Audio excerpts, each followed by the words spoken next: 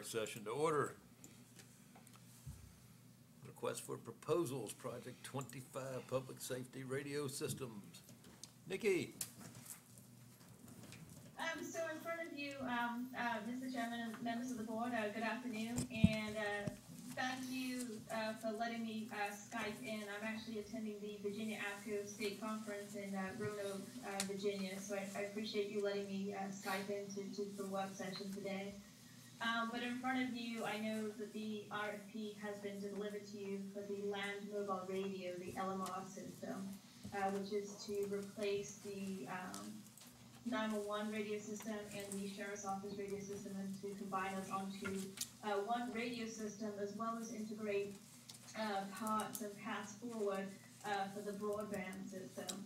Um, so with that being um, said, are there any questions about the RFP or the material that was uh, presented in front of you? I spoke with, with Stephanie earlier today and, and gave her some questions or issues. Or you- I forwarded them to Nikki and to our consultant with federal Okay. engineering. Um, would you wanna go through those, or, Doesn't matter, I mean, I, they're, they're, as you wish. We got an hour. um, the, the first few, E- that, Even I won't take an hour, but, but I'll try. the first few that we discussed, uh, were typos and they are being corrected Okay. by Mike Harper. Um, I believe, um, on page forty-four, Nikki, do you have the RFP in front of you? Uh, yeah, I do. Let me just get to the page off there. Sure. Page forty-four, subsection D. And Mr. White might be able to clarify his question. We end on twenty-eight. Yeah, so- we had on twenty, twenty-eight. They don't, they, we don't we have didn't paper print the whole copies one. of the uh, spec. I have it on my box here, but, well, um, the, the, the general question, actually, we don't, you don't need the paper for this.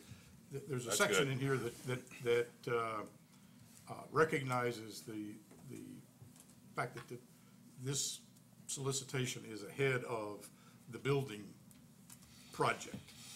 And so there, it contemplates that we're gonna get eight new consoles, and we're gonna put, um, help me, Nikki, if I get the numbers wrong, but I think it's three in this building and two in the sheriff's office, and then hold three in storage until such time as the building is ready, and then relocate or, or locate all eight of them in the building. And the only question I asked was, is there any way to do that in a, in a smarter, less costly, less cumbersome way? Uh, It, it's difficult to, to guess because we don't really know the schedule of the building unless Kurt has some information there. But it just, it- it's an issue I wanted to discuss for a little bit to, to make us all aware that that's the way we're having to do it. And it might be the, the best answer of all those out there. My question would be, why would we have to put them here first? Can't we just initially install them in the, uh? The building might not be ready in time. That's, it's a question of timing. Well, yeah, and what's the timing issue? So, so the, the, the actual reason, um, behind why we're doing this is the, the radio consoles in the nine-one-one center and the radio consoles in the sheriff's office reach end of life December thirty-first, twenty eighteen. We know that the building will not be ready by then, so we do have to replace the equipment that we have today, um, before we have a new building.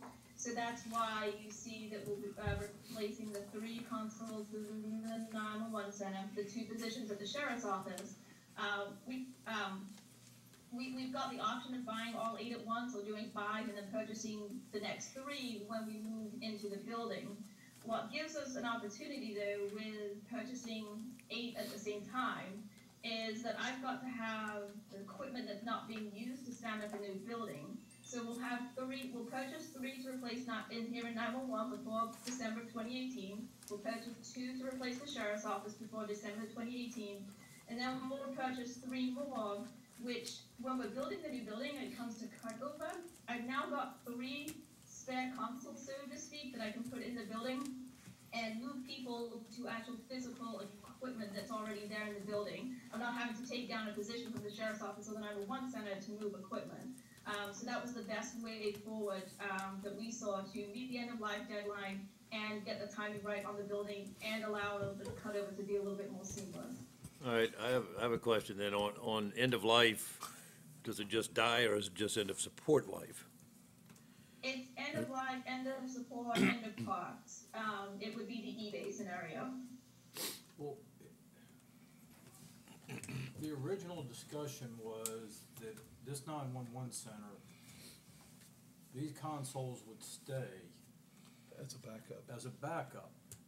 What are we going to do if we get new consoles for in here And then have to move them out. and then move them out? What are we going to do for consoles in this building? So we would do something a little bit different. You don't have to have a full stand-up console, um, so to speak. You can do it with a desktop mobile. Um, there's remote type apps. There's IP-based type stuff. So how my radio system is today is not tomorrow. As long as I've got an IP type, an IP address to tie back into my radio system, I can download the software onto a laptop, uh, my laptop right here, and then would be able to tie into the radio system and have a dispatch console right in front of me without needing all the equipment. How, how risky is taking those existing consoles beyond two thousand, of December two thousand eighteen? Um, with Motorola coming out and saying, and we, and the county has known this since about 2011. Um, I remember it was one of the first things that hit me. So this was posted in 2011, and was uh, one of the driving discussions for, for the, the radio system. Um, again, it, it puts us, I call it the eBay scenario, where there is no spare parts, the manufacturer's not supporting this anymore, and we're, going out to eBay to find pieces of stuff breaks. It's no longer vendor supported, the software's not supported, um, hardware's not supported, and you can't buy any of the parts anymore. Do we have that many failures so that those, uh, we would, we would be seeing these things going down regularly? Um, so, not really, um, but with it being public safety mission critical, um, it's not a recommendation I would bring to the board, um, to, to let a piece of equipment. We, we don't, we're not saving any money by, we, we still have to buy eight consoles. and I re- we I buy them realize that. Before twenty eighteen or after twenty eighteen does not save us or increase the cost by, by any means. Um, we still have to put out the money for eight consoles, um, be it today or, or, or when we have a new building. Uh, It wasn't so much the cost of, uh, of uh, buying the consoles, but Installation. installing them here and then having to uninstall them and install them somewhere else. So you've got uh, two insulation costs and, uh, uninstall- and uninstallation costs for five of them. Um, no, I completely, uh, completely understand, um, uh, some of the concerns with that. And uh, unfortunately, I, I think it's just a cost of, um, of doing business with the timing, with the building, end of life cycles. Um, that we, we know this and we could, and we can be, um, we, we can be responsible for that and know that this is part of the project. Um, most of it's just networking more than anything. Um, uh, you know, uh, hooking PCs up, PCs up to network. But yes, there is. Um, if we do that, we're still looking at the, the 911 phones would be treated the same way. We still pull the 911 phones from out of here. We still pull CAD PCs. Um, so either way, we're going to be removing uh, equipment from both uh, both dispatch facilities, regardless. Nikki, I'm, uh, I'm a little uh, bewildered by, on the one hand, uh, we're worried about these consoles going down, but on the other hand, the complete absence of a console is not a problem because we can just use a PC. So I'm, I'm, I'm sensing a a contradiction there in, in the logic. Okay. So the, radio system we're on today is not the IP-based radio system. Um, I, I have to have a radio antenna that is hooked to a computer. Um, moving forward with our new radio system, it is IP-based. So it's, it's a completely, um, completely different system for what we have today. So unfortunately, today I, I'm tied to physical equipment. Um, tomorrow going forward, if once we get the new radio system up and running, I'm not as physically tied to some equipment because I can use um, IP addressing to network back into a radio system. The, a P25 system, the best way to think about it is an IP-based network that can deliver radio frequencies at the end of the day. So what is the, what is the advantage then? What, what do the consoles give us that, uh, that a laptop doesn't give us just for everyday operation? Um, basically, it's how you would run your V dispatcher, um, dispatch center. Um, obviously, if you're IPing into a system, you're, you're re- relying on the internet, and we don't want to be reliant on the internet. Does it work for backup um, conditions? Absolutely. Hopefully, if the internet hasn't gone down. Um, but it's uh, capacity. Do I get to bring all the full, full functionality with me on the radio system? And the consoles will, will allow us to, to do that. The consoles will also tie into uh, part of the 911 and how that system's set up and the ability to hear 911 calls as well as the ability to be on the radio at the same time. So they're all interlinked together. So the, the system that we've got right now, if we were to just, you know, l- let's say that we didn't change anything and we just magically jumped from there over to the new building and we, and we locked the door on the current nine-one-one center, in an emergency, would we be able to come back and use that equipment, uh, if the, if the new, if the new building went down? No, not at all. The, the, the, the, radio equipment in this old building and the sheriff's office is not compatible with, um, with the future stuff. So you, you couldn't, you couldn't flip a switch and go back to, go back to this system? No, so that's why the other thing with the, the new consoles too, um, the new consoles, um, can work backwards and they can work forwards. So the new, the new consoles would be able, we would be able to use them on the system that we have today. And then also the new consoles will be, um, our P twenty-five compliant, so we can use them on the equipment in the system tomorrow. So they've And- got the capability of going backwards and forwards. The equipment we have today can only work on the system we have today. Okay. And, and, and how did we arrive at, at, at eight consoles? Why, why is there, since we've got three and, since we got a total of five now, wh- why do, what is, what was the reason we were going with eight? So we have five positions total for dispatch staff, um, today.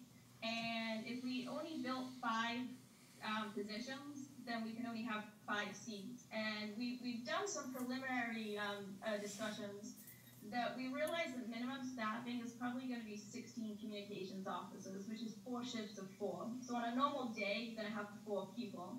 We didn't want to landlock us into only having one extra position, um, because when these crises do happen, uh, we need to be able to double our staff. We also were trying to plan for twenty or thirty years and give ourselves the, the growth. Um, because if we have four dispatchers today, probably in five, ten years, we'll have five dispatchers. Also, positions go down. Um, that's the nature of the beast of just business. Computers break. So we don't want to be in a, in a position, again, if I have five positions, one goes down, or build, if something happens, I can't call anybody in. So we were trying to think past that and, um, and forward think a little bit more. And that's where we came up with eight, is that we know that we can double our staffing capacity. Nikki, I'm a little lost with that last scenario. Because you said that this particular center could be run off of just a laptop. If- On the new system, Right, okay, so if a position goes down, you can't just take a laptop and have that position up and running until it's repaired? We would prefer for the nine-one-one center it to be a fully functional dispatch console position. We, we would want the equipment to be the same. Um, the, the reason for keeping the nine-one, the other, um, down here in the basement is, simply to just, to it's to work in backup conditions. Uh, How, much do these, how much would each position cost roughly, do you? Probably in the ballpark, um, two hundred to two fifty, um, uh, for each, uh, and that's thousand, um, each position. Okay, so what is the risk of installing positions, then uninstalling them and moving them and reinstalling? them? That's where my real concern is, is if you're talking two hundred, two hundred fifty thousand dollars per position, you're talking, let's just say, seven hundred and fifty thousand, just for that we are risking moving the hardware after it's been installed. That, that's my biggest concern, is breaking something when we go to move it? Um, I, I, if you do it controlled, I, I don't think that, I think there's actually gonna be less risk in the newer building, um, because, uh, you're gonna have proper cabling and proper wiring than, than when we install it here. Um, for us, the equipment that gets moved is, is PCs, a server, and the actual radio, um, desktop console themselves. Um, so, could things get dropped? Absolutely, but nothing's going to, you know, it, it would just, um, it's just moving software and hardware from, from one room to another. On your, on your uh, concept, or on your discussion of why we needed eight, I mean, I could understand if you've got four positions having a fifth uh, console available. Uh, and- But if you're looking to growth out in 10, 15 years, uh, wouldn't the technologies be changing for those other uh, consoles that uh, uh, we don't need for expansion uh, right away? Um, it's, it's possible, um, again, we were looking more at it that we want, this, this is a fully functioning nine-one-one center, um, that we don't want the dispatcher having to worry, are they on a laptop that doesn't give them the full functionality or capability that a console does, but simply because I've had an electric issue or one of my positions, they've now lost functionality. Well, that's why I was saying, if you kept, uh, if you say you're gonna need four on a routine basis, I can understand having a fifth console as a, as a backup, uh, but I'm not sure that, uh, uh, the other three consoles for growth, uh, wouldn't be, uh, uh, outdated by the time you need it for the growth. Um, and again, it was, um, I would be even concerned just doing five positions because we have seen it that we need more than, we, we need to be able to, um, expand our staff. If, you know, could I, I'll, I'll be honest, could I live with six positions that are fully, a full position? Absolutely. Um, because that gives you, that gives you the flexibility. Now I can bring two more people in, um, to answer phone calls, basically is what happens when these emergencies do happen. Well, we could do that and, and also tie in laptops too, right? So, yeah, we, we could do, we could do several different things. We could do six fully functional consoles and then do two more with, uh, laptop type equipment. Um, we, we, we've got some room to, to, to wiggle there, so we, could we stand up two more positions and not make them as fully functional until we need them? Um, but, you know, are we also, so, so yes, we, we, we've got some different options that we, we could work with there. Well, I'm just thinking, I, I would certainly feel that you ought to have the space for eight if you're gonna talk about, uh, growth for, uh, twenty or thirty years. But I'm not sure that you actually need to have the, uh, consoles if, uh, if you don't need them near term. Uh, so having two spares instead of one might be worth the added reliability, but I'm not sure that, uh, uh, another four to five hundred thousand dollars worth of consoles that might become obsolete by the time you need them. Uh, It just seemed to me to be something that we could uh, defer. The other aspect is, I, I didn't find, uh, how we've asked the, the bidders to, to handle this, uh, this item of installing and then moving. Is there, because in, in the system testing, uh, uh, section back hundred and, page hundred and fifty or where- wherever it is, uh, it, it doesn't speak to the, uh, the, moving, so maybe Stephanie, you know, is, how, how is this handled from a bidding? If, if I were a bidder and I read this, how, how would you expect me to respond? Is there a cost section that would deal with this, or, because it's not part of the, uh, system testing, i- installation and testing, uh, section, at least I didn't find it, I mean, that doesn't mean it isn't there, but, uh, uh, there's, on, like on page one thirteen, there's a system installation requirement, and it talks about, uh, it has to be done by uh, authorized, factory auth- authorized people, and, uh, have to follow the manufacturer's guidelines, you know, the, the things you expect to see there. Uh, Keep the work sites neat, you know, I mean, it- it's, it's a fairly comprehensive list of things, but I didn't, I didn't see anything that directly instructed the bidders on th- this, this narrow topic of needing to move them. I mean, is that, is that such a trivial item that they're not gonna wanna price it in, or I, I, I just, Unfortunately, I'm unable to answer that. Um, Federal wrote the technical specs. Um, Nikki, do you know if that, if they think that's included in this original, or is that something we would contract for them at a later date under our annual agreement?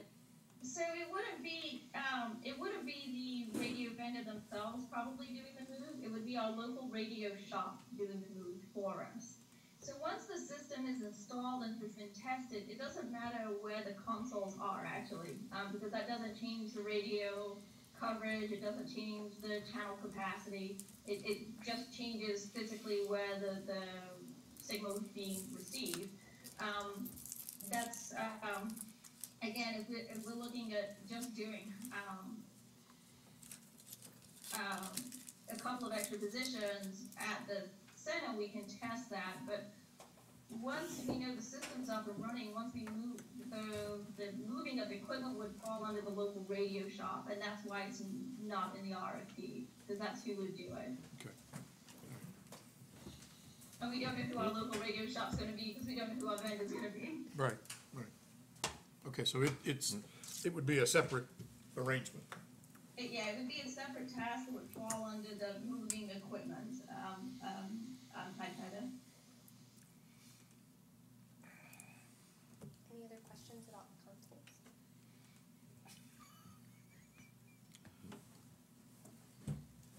I, I have another, We did have another, another question or set of questions that deal, deals with towers, if you wanna, uh, on If page wanna- seventy-five, Mr. Ray. y- yeah, if you wanna Absolutely. move to that one, unless there's some, something else. Um, we, we, I've, I've had several discussions with, with, with Nikki and, and Stephanie and, and the folks from Federal on, uh, the tower question, trying to get, you know, as, in addition to the, the, the coverage and reliability that we need for the radio system, to, get as much of a head start on a broadband initiative as we can out of the tower system. And it's not, it doesn't make sense to try to do a single procurement to buy all of that capability at one time, because it, you're having to layer organizations on top of each other and pay for primes and subs and system integrators and things like that. But having said that, we, I think we found a, uh, a reasonable position to take with respect to the towers to, to at least set them up to be dual purposed. Uh, the, the question that I wanted to, to, to raise with, with the board and, and everyone for that matter is how do we communicate what our expectations are with respect to the towers? Uh, we, we, we have statements in here now that, that say our preference, uh, is for new towers located on, th- three parameters, new, What page are you on, Jim? I'm sorry, page seventy-five. Uh, Well, that's right, you guys have, Subsection M and yeah. I'm sorry? And I'm, N. I'm Subsection M. in, and I'm talking about number, item number one. Sorry, I forgot to. And, and it, and it says that, that, uh, we prefer new sites on county facilities connected to the fiber network. So those, those are the three parameters that we express as, as a preference. But then it, it, it offers three other opportunities. That's item one, if you're on that page seventy-five. Uh, one is a new site that, uh, is on county facilities but not connected to the broadband. Three is a, is an existing site that we use but don't own and not connected to the broadband.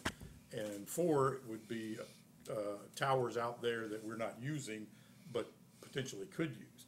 My, the, the question that I, that I finally wanna get to is this.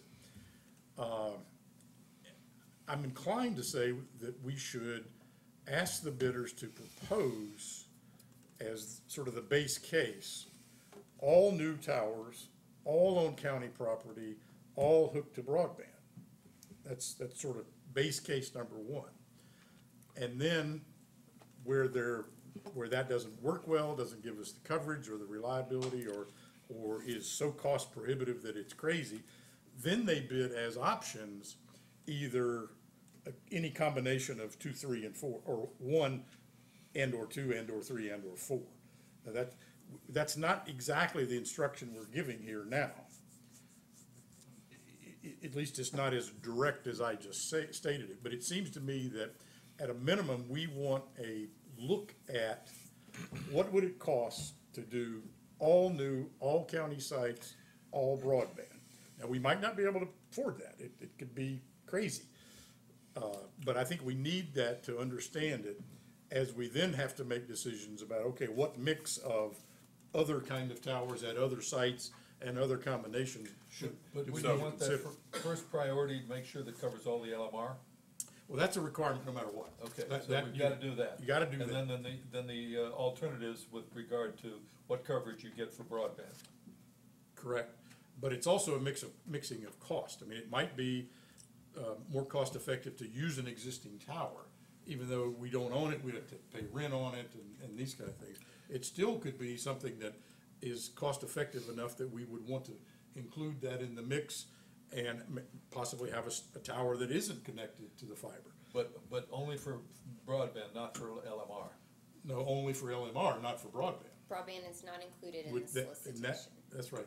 Broadband's not in here directly. Okay, all right. We will take whatever, So, so Jim, are, are you saying in effect, the county's preferred order of, s- of, of site selection is, is newer greenfield sites located at county facilities with connectivity to county's planned fiber network, period, and then list, if this is not possible, one, two, three. In other words, take, or also- take the current one and, and not make it one, make it. Make it the spec. Make it the spec, yeah. okay. Well, that's what I'm, I'm, that's the Yeah. issue on No, the I think table. that makes sense, uh, because it, it, it makes it a little clearer what we're, what we're aiming for. But I, but I, there are other people in the audience that probably have a comment about that, and, and I'm, I'm inviting comment. I'm not, I'm not putting this out there as a, as a must-have, but it seems to me that, that all things considered, if, if at a reasonable cost, we can get number one as sort of the baseline, Do we that, consider, that, that gets us along a path that we want to, do we consider fiber optic extensions beyond, uh, the current as a part of that mix? uh, it, it, To, it's. to, to achieve the, uh, uh, that number one criteria? And, and that could be at the number two. Number two is contemplating, uh, I'm, I'm sorry, not number, yes, yeah, you're right. Number two says without fiber.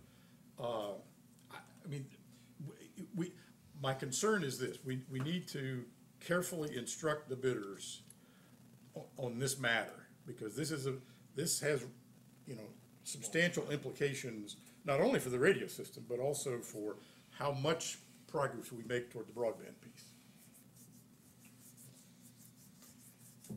I mean, And federal might need to weigh in on this and tell me I'm, and this is ludicrous, and, some things we've done in the past, um, particularly, um, I can think of with the EDA with their recent pad site project, is we requested, in, in that case it was bids, this could be proposals with pricing, but, um, give us this option with pricing, and we, you know, that's our preference, but then also give us these other with pricing, and we reserve the right to choose whichever combination best meets our needs. and that would be my recommendation, is because we don't know enough at this point to force them to do number one and only number one. We, we just don't have enough information. Now, Mr. Wade, as I, as I look at the RFP and I look at C above it, it says, res- and it's, I agree, it's a little confusing, and I- hopefully my phone's giving me the right thing, but as I'm looking at it, it says respondents shall propose a system design that meets or exceeds the county's coverage requirements using existing sites or newly developed tower sites. So I, I think C points them in the direction you want them to go, and then kinda, um, it kinda alters off of that with D below that. And that, and that's the issue, is that, that I I think we have to be careful how we slice this so that we can, we have decision packages that we can discreetly follow and understand and price and, and, and that's really my, my objective. My objective is not to prejudge the answer, it's to get the information packaged such that we can, we can make an, an informed decision. If, if we request all or a combination and then just have that language where we reserve the right to pick and choose and combine as we see fit, we could talk to federal, federal about clarifying that. And it might be that, that number one is valuable enough for us that we're, that if there's a premium, that, that, that can be justified in given what we're trying to accomplish. It also could be a premium that's beyond what we're willing to, and that's what we need to, to determine. I guess that's why I'm sort of, this sounds like a, being down in the weeds, and I guess to some extent it is down in the weeds, but it, it, it has some fairly major implications. Not only on the number of towers, because I believe that if we, if we focus on number one, uh, a- as sort of the base case or the desirable, it probably will increase the number of towers. You know, it won't double it, but it, it, it could add a tower or two. And we did, as you might remember, we had a little bit of that conversation with federal, uh, and they were sort of, but there's some benefits to that in terms of in-building coverage and other kind of things. And so I, I just want to make sure that we're, in this area particularly, because I think we are in the rest of the RFP. We're very precise as to what we're looking for as, as packages to, to, to allow us to make informed decisions. This was an area that sort of didn't quite, So we're, Get there. We wanna be precise in the information to make the decision we're not sure we wanna make yet. at least that. Okay, Yeah, right. and that's why I'm sort of waving and rambling, is I, I don't, you know, I don't have the precise language to offer up, but, but I, I think it starts with number one, as defined here, becoming sort of the, the base case that we would like to have them bid. And then we, we venture off of that based on pricing and other considerations. When, uh, when they do that, let's say they come in with a, a- a baseline and then three or four options, uh, uh, beyond that. Uh, And we should get from them the, the, the performance on, on LMR. For all, for any option they propose, yes. Yeah, okay, but when we say, all right, now, we take those options and we wanna look at their potential for broadband. That's a separate effort, But but that's a separate effort with it, not with this group, but back to federal? probably back to federal. Because they would take, that would, that would locate the towers and mm-hmm. give us the height. And then from that, federal or others could go in and, and run the propagation For spectrum broadband. for broadband. That would be part of our specs for the broadband solicitation. Correct, correct. But it, it, again, it's not, It's not in this it's one. not embedded in this. Okay. But it, and that's where the trick is, is we, we want to get as much out of these towers as we can. Obviously, step one is you meet the LMR specs, no issues, no, no ifs, ands, or buts. They're pretty crisp, they're pretty tough, and you gotta meet them. Uh, But if we can, you know, shift a little bit this way or that way, And buy more broadband. and, and get more broadband capability, and may, and frankly, even better, uh, LMR capability. Cause, you know, if, you- if, if an extra tower or two is in the right place, you do gain something potentially valuable, particularly in building, portable in building, uh, on the, on the LMR side. So, uh, it- it's, it's not, it's not just a broadband play, but it, it is importantly a broadband play. I, I, I mean, I've, that's my story, and I'm sticking to it for the moment at least, until federal. I don't, Nikki, is that, I mean, that seems to fit with other conversations we've had, you and I, and with federal. Yeah, I think our intent is the same, the language doesn't match our intent strong enough, um, but I, I, I see exactly what you're asking for, and I think that's a pretty easy fix with, the- with the language, and I'm sure I can get with Stephanie and Federal and get that taken care of pretty soon. Okay. Done Uh, yeah, yeah. Okay, just, uh, I'm more curious than anything else. On page ninety-five, the generator, is there a reason for LP or natural gas versus diesel? A reason for something, I I apologize. Oh, is there a reason for the generators to be LP or natural gas versus diesel? Um, not that I'm aware of, we, we could do either or, Well, as, I, as long as we've got a fuel tank. Well, and typically, your diesel, unless things have changed, you can take a, a properly sized diesel tank that's going to perform for a longer period of time than a propane. You're gonna have to have a humongous propane tank. John? The only thing I'd say about diesel is, big, you'll sit for that length of time. Right, That okay, would be my greatest concern.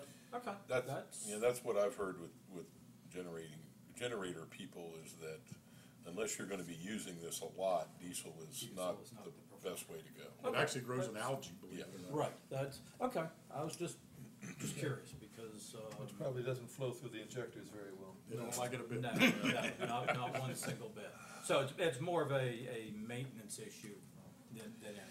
Okay, and that's, and that's a And I, and I think a And you're have to reliability, add 'cause DEF in because it'll be new. when you need it, when you Yeah. need it, you need it, so. Oh, no, yeah. absolutely, absolutely. And we don't hope not to be running work a well lot. in frozen Yeah, weather. no, that was just curiosity question more than anything else. Did, did you get a response from, from federal on the backhaul issues of the three hundred versus the one fifty and all that? We, don't- we don't need to go into it, it's just. Yes, sir, I believe you were correct, and he made the change, it was his typo. Okay. That's all I have. Well, the, the, the other matter is, is the one that we touched on when we talked about the consoles is, is the matter of timing. Uh, You know, the- my, my feeling is there's enough uncertainty about the timing of the building that we, we almost have to decouple this project from that project, at least initially. I mean, it, maybe it'd be nice to have them sort of link up at some point and be on the same time frame. but, I mean, Kurt, do you have any kind of a notional uh, milestone in, in, in your mind for, for the building? No, we're, we're working on a revised schedule, but I don't have it yet, so it'd be a guess at this point in time. I mean, there, Unfortunately, I think you're hundred percent correct. Yeah, I, I just, I, I guess my, my only hand wringing there was it would, the- the more we can make these schedules Coincide. coincide, the, the, the better the outcome by lots of measures. And, and I, I just don't know how much of that we can accomplish. I'm, I'm not for a second suggesting we hold up the release of this solicitation for the building. I, I'm, I'm certainly not going there, but I think it's, you know, it- where there are opportunities to make them coincide better or, or, you know, What was the original, what was the original date? Uh, mid twenty nineteen. Mid twenty nineteen? Well, we're certainly gonna be later than that, so. I mean, we're off by Probably a year. a year, probably more than we're off by a couple of months, so.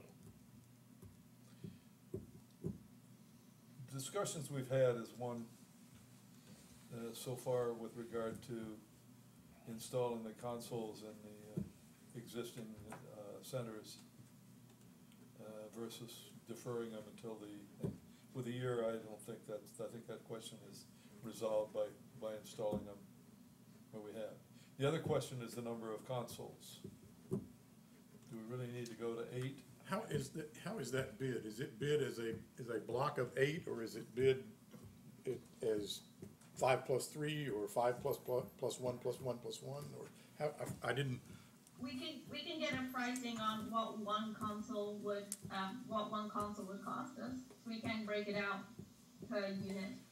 but should we not, should we not pick a number, whether it's five or six, I don't know, but let's just say six for the moment, and ask for a bid on six, and then a bid of plus one, maybe plus two? Yeah, we could, we could change it, change the language into six and then ask them for the pricing per unit. So if we wanted to go back and look and see what eight would- would be, then we, we've got the, the, the figure there.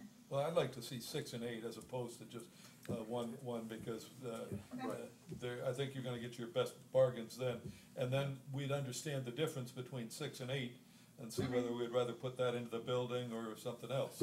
Uh, because, uh, if it's not something that we would need for reliability over the next few years, uh, I'm more concerned about what happens, uh, in the ten to fifteen year period in terms of technology.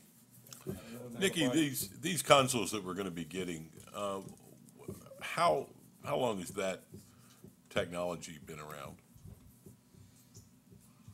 P twenty-five technology has been around for, for, for several years. Um,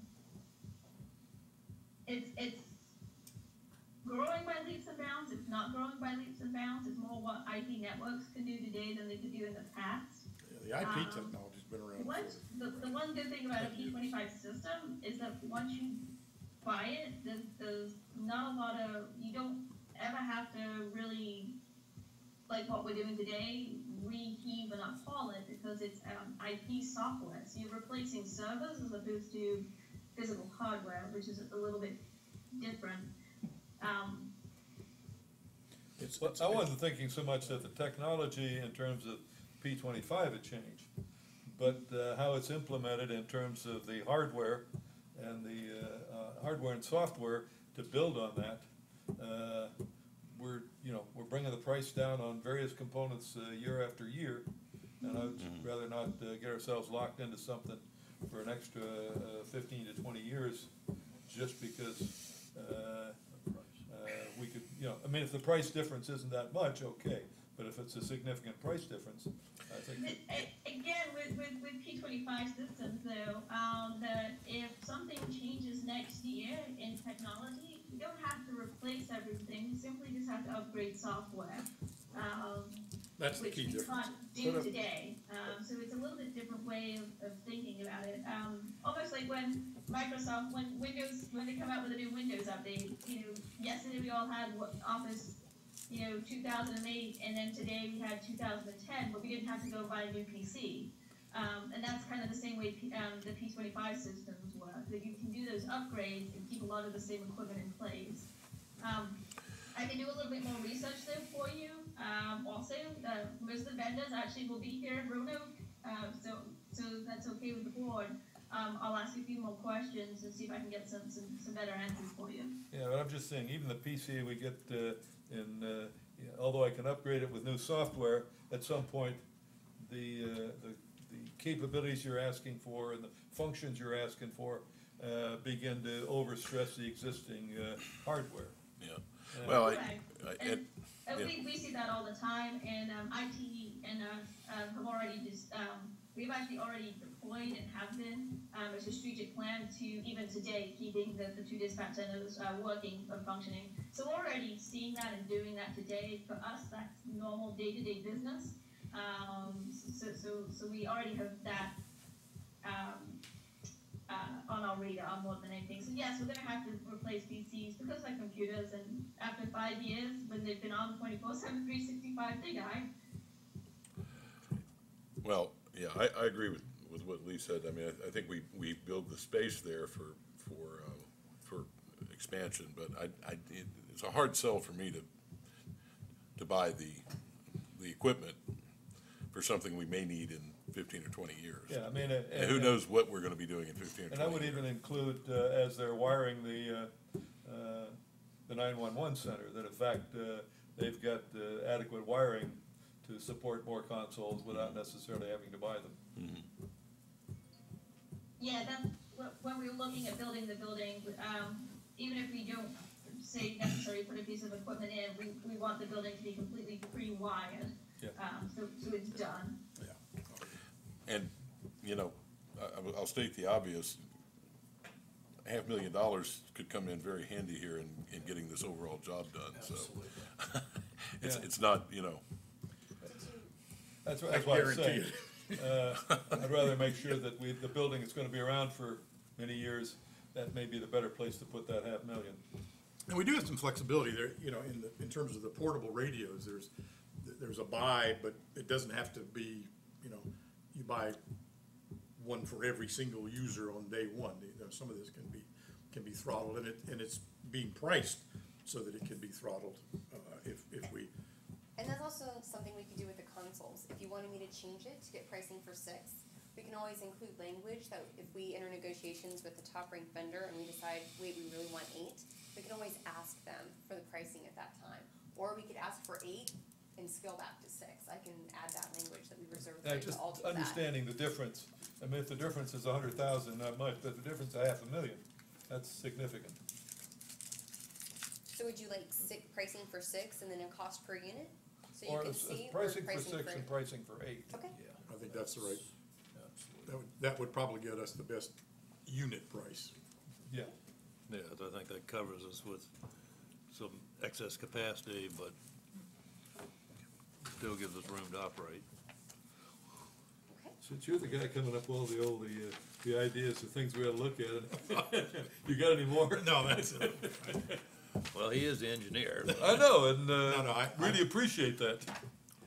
I, I classified myself as an antique engineer. There's a big difference. Emphasis on Well, that. that's why we got Antique. Nikki You're, and uh, you're, everybody you're else in the out there. weeds guy, so. Well, It, it was, this is a, an interesting challenge because we're, we're, we're trying to accomplish as much as we can with the same bucket of dollars. And, uh, you don't want one to screw the other up, obviously, so you can, s- you can only push so far and then you have to, if you can get close to that line, you, you have to de- declare victory and quit. And I think, and I think that's where we are. I mean, the, if, if you. If could you really- analyze this for another six months. well, but i- i- in fact, out of a two hundred and eight page document, we focused most of our discussion on two pages. The, the other two hundred and seven or six pages are, you know, basically ready to go, I think, with, with just some really little. I mean, I had a list of small things that I gave to Stephanie earlier today, but that, they really were edits. So with the, the changes that, um, have been requested this evening, the seeing the pricing for the six consoles and the eight consoles, clarifying, uh, the page seventy-five where it talks about our, our base scenario and then some combination. Um, with towers. Yes, sir. Um, and those minor edits that you pointed out earlier, um, is the board comfortable with releasing after those edits have been made, or would you like to see it again before we go out? We had preliminarily scheduled to release this on November second, uh, with having proposals due January eleventh. Um, but we're open to whatever you're comfortable with. Jim, would you like to look at that thing on the towers again? Or would you like me to send you a copy, Mr. Wright, before it Whatever. goes out? I mean, I'd be happy to, I mean, I- to, to look at the The wording. way you have uh, reviewed it, I mean, if you were comfortable with it, I would be certainly be comfortable with it. I'd be happy to look at it again. so. I mean, they can just, we, Mike and I did this once before, he, he had some language that he, he just emailed it to me, and we had a phone call and worked out a couple of details, and, you know, I'd be happy to do that again. Okay. Okay, I will get with Mike tomorrow to make these edits and make sure you get a copy. And if you're satisfied, we'll go ahead and release on the second. Gee, thanks a lot, guys.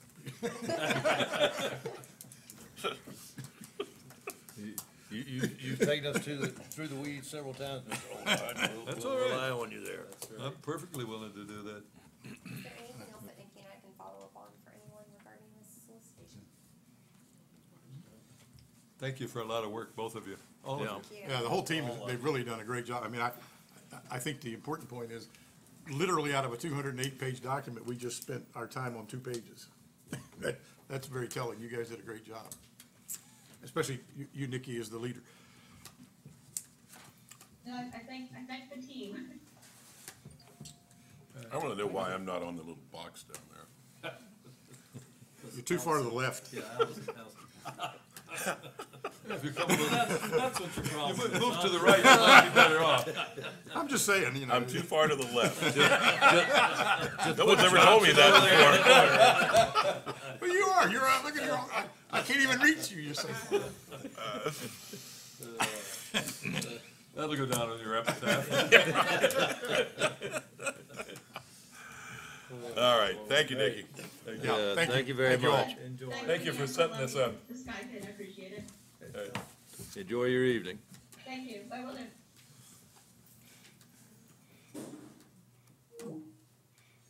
I know that sound. You know, we should do that a lot more often, cause when we get tired of listening to somebody, just hit the button, they're going. Oh, that's what they wanna do with us. Yeah. Okay. Well, Okay. in case, We did it.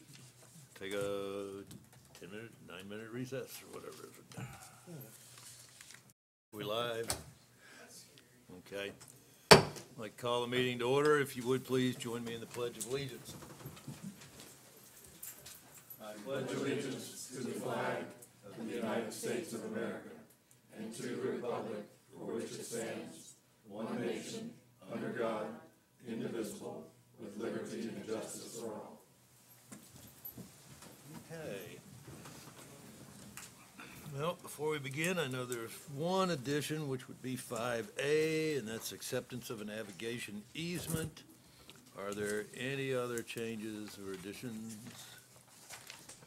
Motion to approve as a modified. Second.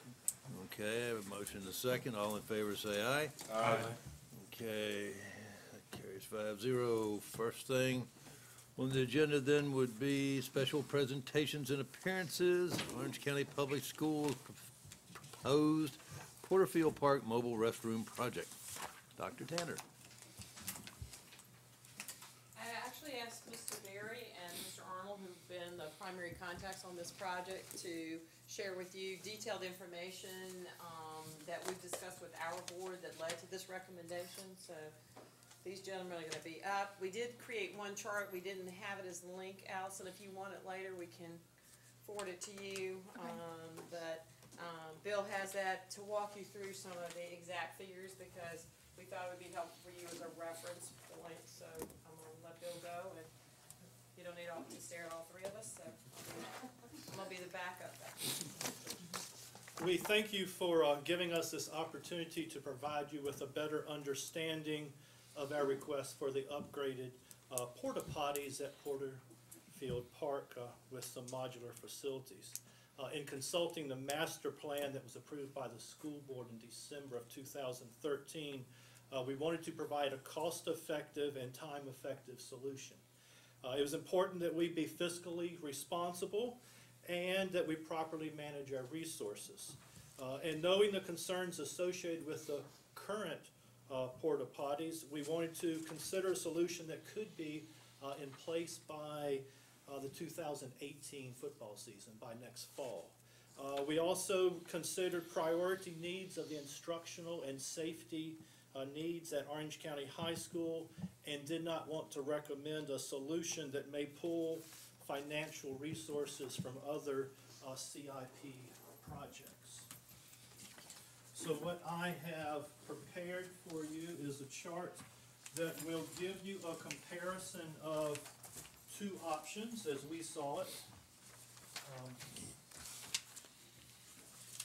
We see the one option of leaving what we have in place not really being an option.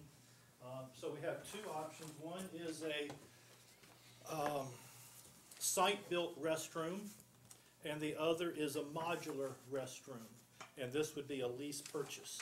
Uh, please keep in mind that both of these, uh, this comparison, uh, they're both ADA compliant, both the modular units as well as the site-built units are ADA compliant. They both include two buildings, uh, one behind the football stands and one down the first baseline near where there's a ticket booth currently. Uh, both meet building code requirements, although those requirements are different for both of these uh, options. Uh, the modular, what the code says with that, it, it must meet or exceed what was originally in place. Uh, so currently, we have eighteen porta potties in place. Those eighteen porta potties were met or exceeded what was in place with the, uh, the abandoned bathrooms. And then, um, the site-based, um, the site-built based is, is all determined by an attendance of, uh, thirty-five hundred fans. Neither of these include upgraded concession stands, and neither of these proposals or cost analysis uh, include a demolition of the current abandoned facilities, uh, the, the cinder block building where the bathrooms are underneath of the stands that we don't use anymore.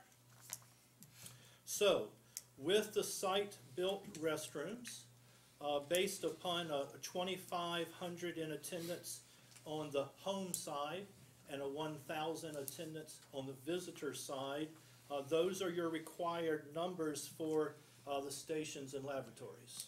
Uh, forty-nine, and this is based on building code requirements, because we'd have to upgrade, uh, if we put something permanent in place. It would require forty-nine, uh, stations or toilets, and sixteen lavatories or sinks on the home side, and twenty and seven uh, on the visitor side over the baseball field. Uh, that's at an estimated cost of five hundred and then the modular restrooms, again, this is gonna be, uh, a lease purchase. And this is, uh, thirteen stations per modular unit, so a total of twenty-six stations. Again, that meets or exceeds what's in place now. Uh, estimated cost of two hundred and thirty thousand dollars with a resale down the road of approximately sixty-five thousand with a net cost of hundred and sixty-five thousand dollars. Is that per unit or is that for two units? That's for two units, That's the total. total for the two units. How long is that when you say resale? How many years are you talking about using it? The useful life of one of the modulars is ten to fifteen years, Mr. Frame, and we anticipate about nine years of use, based on the current, uh, CIP, the current master plan that's in place. So you're, I- I'm, I'm trying to get,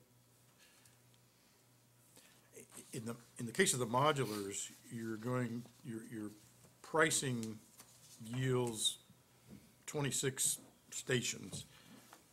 Uh, and, and we can, we can do that and meet code. Correct. But there's a big difference between twenty-six stations, and if I'm reading the, the one above it, Sixty-nine? uh, y- versus 69 stations. And That's I- correct. And I'm just trying to, trying to get my, trying to envision the, the, the impact. I mean, it's one thing to be code compliant. I'm not against being code compliant necessarily, or always. Sometimes.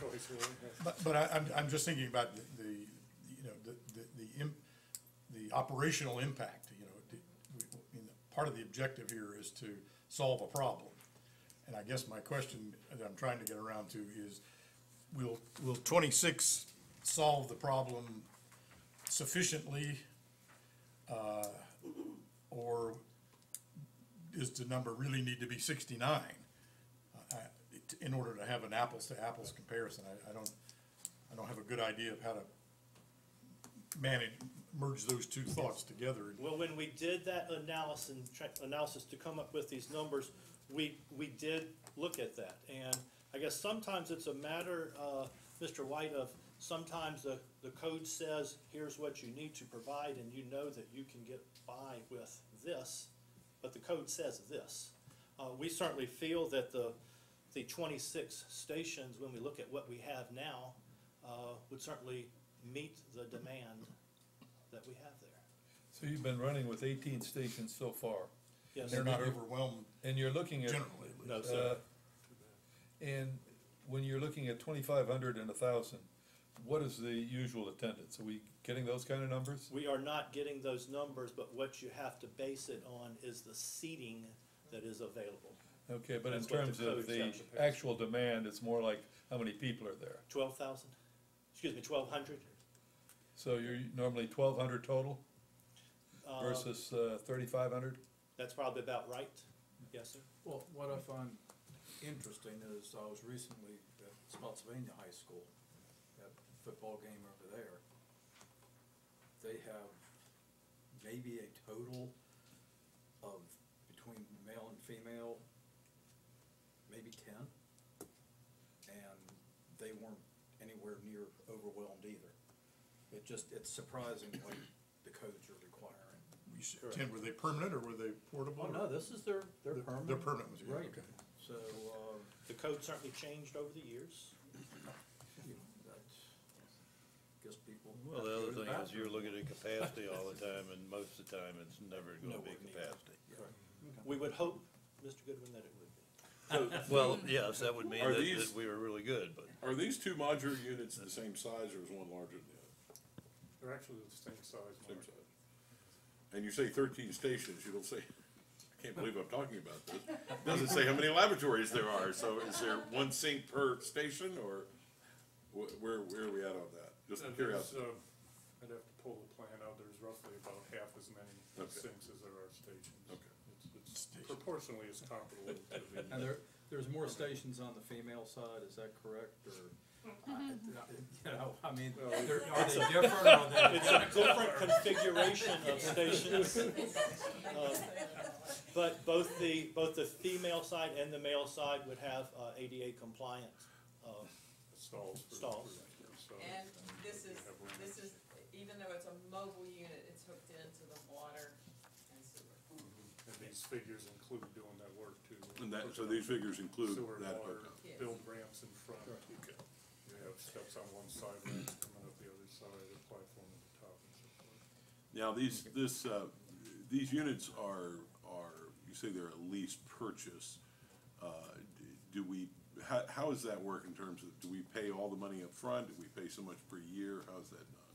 It's, it's a, a two-payment lease purchase. We would pay the first payment up front, and then pay the second payment a year later, and then they, we own them. You know, It's like having a six-year lease purchase on a car, only it is a purchase agreement. Okay. But they're financing half the payment over a year for, I think it's about three percent interest, versus if we bought it up front. That would be an option. Sorry, I'm throwing my sensitive but from the back, uh, but also we have looked at just a pure lease.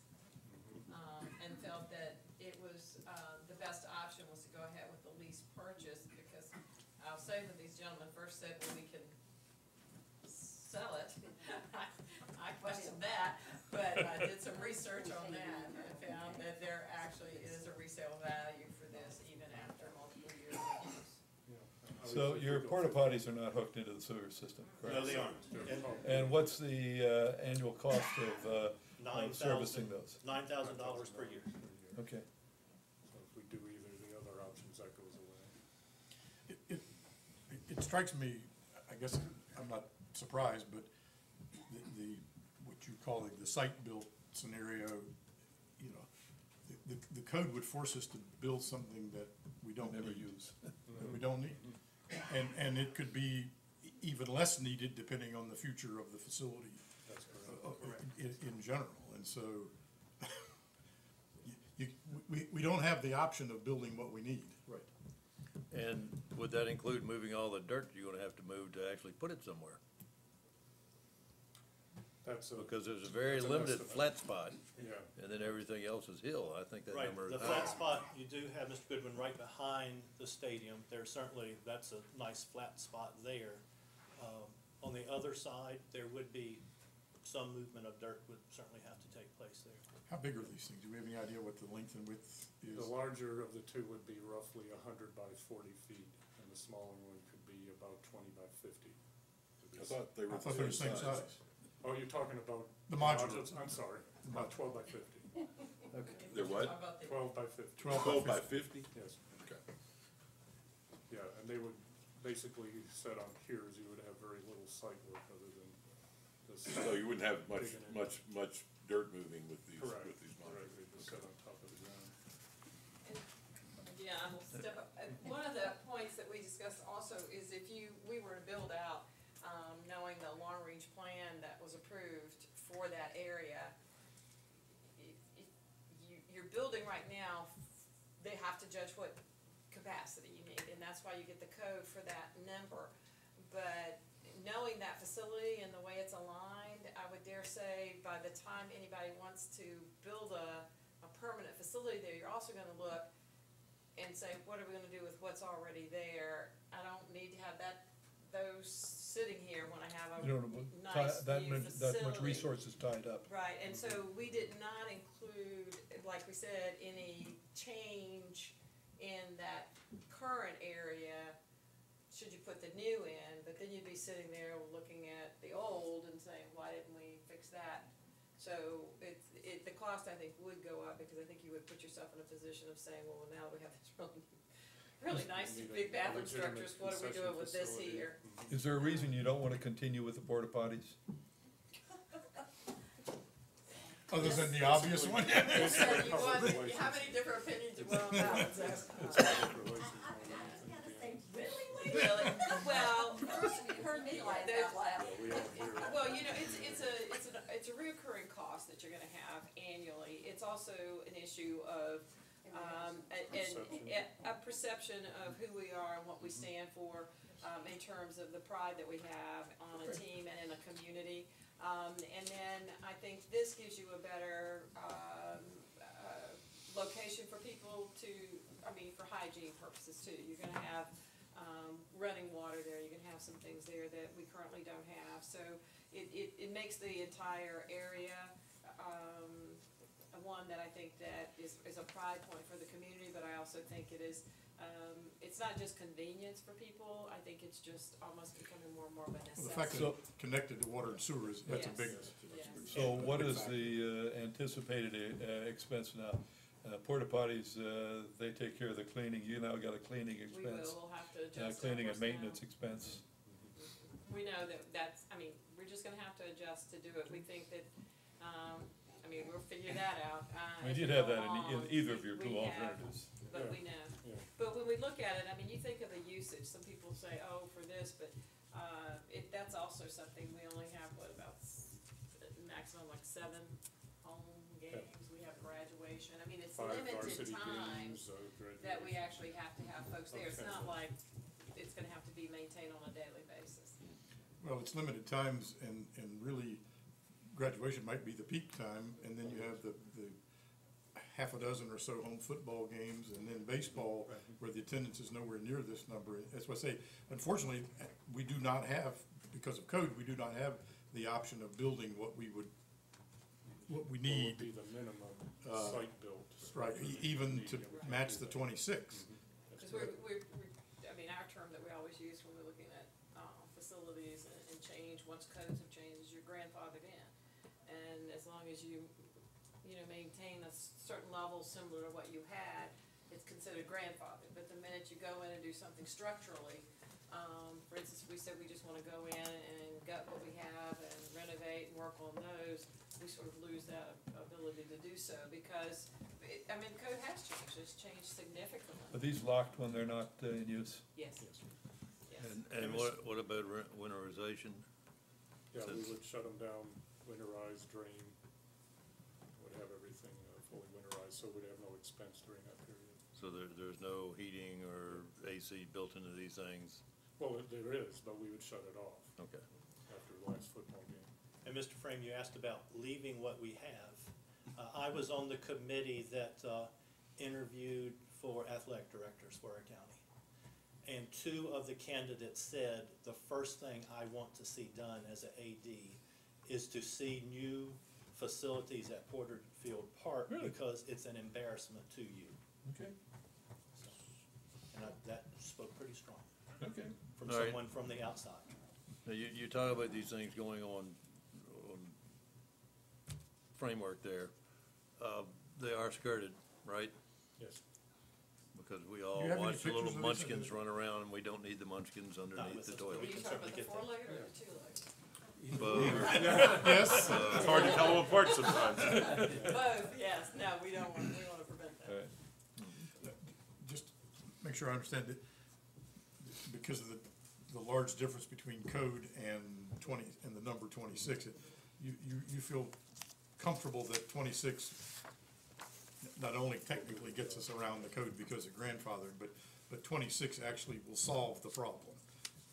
Uh, Having been at ball games now, I don't see people standing in line at the Porta Johns. Now, whether that's because they're. They don't wanna use it. Have you looked behind them? That. Well, it's because they don't want to or don't need to. I'm not sure which that is, Mr. Webb. Either Yeah, but I mean, if your, if your code requires for thirty-five, sixty-nine for thirty-five hundred people, and we got a roughly a third that actually attended, the twenty-six is about a third of that. It looks like it ought to work, yeah. Yeah. And it, that doesn't say that you won't go there sometime and have lines, because it's, it's, um, as, as we discussed in our deliberations about this, you know, uh, I've been to concerts before, and, you know, people take breaks at certain times, so at halftime, Sure. you're gonna see A line. more people there than just the ebb and flow, um, during the game, so it, Queuing it through. it might have people waiting in line, but I would contend that they'd rather wait in line, um, a, a little bit. Oh, sure, go to a game at John Paul Jones Arena, you're gonna wait in line at halftime. You are, it's a. Male or female. Right, and Though, that's, though I will say to that, this past Friday night when the band was performing at halftime, there were few people getting up to go Right. get Yeah, concessions. That's true. All right, I'm okay with this. I'm okay with it. Yeah, I mean, I don't, any other questions? I mean, looks like you've, No, I think we, uh, I think that's good. We, we just, we wanted to have a, kind of a behind-the-scenes explanation for how you all arrived at that, so. uh, We, yeah, we we fully appreciate understand that, because we've had a lot of discussion and look, and we quite frankly looked at as many options as, as we could think to explore, and I know the time that uh, Doug brought, you know, we all were going to try to Google and look to get a picture of one, see what does this thing look like? Um, so that, um, that we could feel confident that it's what we need and not just a patch, but we think it's something that we can, um, will, will serve us well for many years, and, and quite frankly, just didn't want to even consider investing in something that X number of years down the road, you'd say, why did you go one that big, you never needed that many. Does it come in orange We and might blue? agree or disagree with code, but eventually, right, Once they make the second payment, it does. The, the two thirty, is that, uh, basically two equal payments, or how's that set up? It's, uh, two payments of, of about ninety thousand, and then we have forty thousand dollars in there in the first year, which is part of our one thirty carryover item, that would cover the site work and the, uh, uh, connections to sewer, water, and electricity. And the second year, it's another ninety thousand payment plus, uh, for a little bit more, putting gravel down, kind of the finishing touches that would occur presumably in July of twenty eighteen after the fiscal year changes. So that's why our request is divided into the hundred and thirty that's in carryover and then the hundred that's in this, uh, current request. how would But you? all of that gravel and so forth would be in place prior to the use in Of the fall. course, yeah.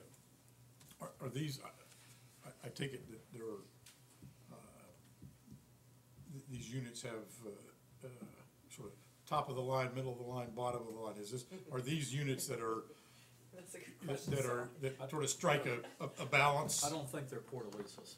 They're, the Well- way to describe them is uh, Chevrolet, not Cadillac, but, but not, uh, Not something else? Not you. Not a Yugo? I Yeah. think we have the Yugo Or a now. Pinto, or all, all of those? Hey, hey, I had a Pinto now, so.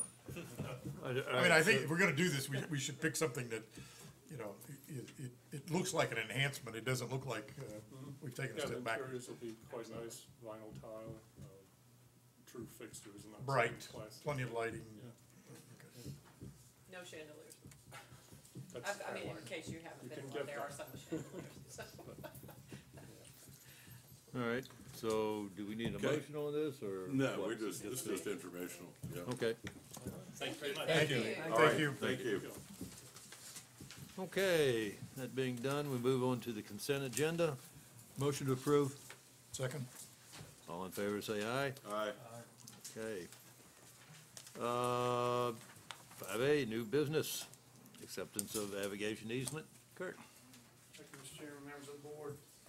Um, Sorry to squeeze this in last moment, but we did, uh, as you know, we've been trying to uh, get through this phase of the obstruction removal project. Right now, we're working on making offers for avigation easement acquisition. We have a willing landowner.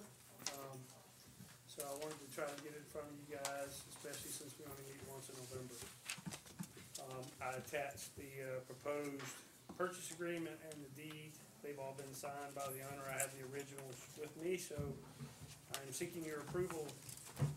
Uh, and also attached a, uh, resolution, accepting the deed. So if you find all that acceptable, uh, we'd like to try to move forward with it. And, uh, certainly answer any questions. I will add also, because I anticipate this might be the question, the offer, the purchase offer is for the appraised value that was determined, uh, when we surveyed and appraised the property. It's not, it's not a dollar additional, it's the exact number. And already have approval from the FAA to make these offers based on the appraisal. Is this perpetual, or is there a time limit on it? I didn't get a chance to look. There's no time limit. Okay. It's, it's, uh, forever. Okay. I would make the motion. Seconded. A motion is second. Any further discussion? All in favor, say aye. Aye. Thank you. Thank you, Kurt. All right, I see no old business. Uh, Department Director Constitutional Officer reports. Presentation of working draft capital improvement program. Glenda. Um, Stephanie is actually gonna go over, um, the draft of the CIP with you. Um, there are a few items, we haven't quite made our target for, um, FY nineteen in terms of, um, the minimum funding. Well, we've made the minimum funding, but we have a few additional projects. So we haven't, uh, worked into that amount at this point. But I'll, I'll let Stephanie tell you more. So what you have before you is the working draft. Um, these are all of the ongoing renewal projects that we have included in previous CIPs, as well as, uh, new requests for this year. Um, and to help better point out the new requests, if you'll flip to the last section that has our project detail reports. Everything new this year will show up right in front because we haven't assigned it a project code yet. So everything in this front section that doesn't include a project code are new requests that we've added this year. And with the help of our colleagues at the schools, um, we actually were able to include, um, their projects in there this year in detail, so you have all that information as well this year. And, um, really Brian wanted me to pass this out and, um, point out a few items, um, for you all to consider and think about. In the next few weeks, we'll be scheduling one-on-one, uh, meetings to go over this in detail with you, and then I'll be bringing back a revised draft the first meeting in December. But a few items that are above our target this year, um, are the Town of Orange Fire EMS Station. Um, please note that the figure that we included in this working draft is a estimate based on some, um, preliminary, um, space needs that were conducted in the last few years. We have not received bids or, or anything of that nature, it is a pure estimate. Um, there are two new requests from, um, the schools this year, um, the roof for Gordon Barber, um, and the, lease purchase for the temporary restrooms at Porterfield Park. Um, there's the Gordon Building elevator modernization. I, I hope that means replacement. I hope modernization means a new one. per Aaron. It's not necessarily all new, but the components, the gears, all of those things would be new, yes. Um, so there, there's more information in the project detail section, but they're not necessarily ripping out every single, uh, piece of metal that's in there, but they're Mhm. replacing the gears. Also, um, I think there were some building code issues with the fire, um, suppression system or fire alarm system in there. Um, but he does have extensive details, and when we meet one-on-one, I actually have a quote from the company that outlines everything, um, that's included in that. Can I add one thing? When you step into the elevator, you won't notice because what we didn't pay for is a modernization of the, of the cab. Of the car, you know. I mean, that, I just didn't see the point of that cost, but outside of that, everything in the shaft and everything above is new. It's gonna have new engine, new transmission, new drive shaft. Yes, sir. Yeah. Yes, sir, but the interiors will look the same. Right, same, same old, Except for the display. same old cracked vinyl. You, you go interior, but, but Chevrolet mechanics. All right. Okay. Um, we also, um, additionally have this year the replacement roof for the, um, Brewerton building in Unionville. Um, and, Why um, on earth? Please. Yeah, and, who um, put that in there? An emergency, um, flasher system for, um, the two, uh, Rescue Station twenty-one and the temporary, um, fire and EMS station at the airport to let oncoming traffic know when our folks are coming in and out. And, um, another project that is, that Brian wanted to include that is, um, TBD, TBD completely, we have, we have no cost estimates. He just wanted to bring it in front of you to let you know that it's something that we're working on, is the historic clerk's office building renovation.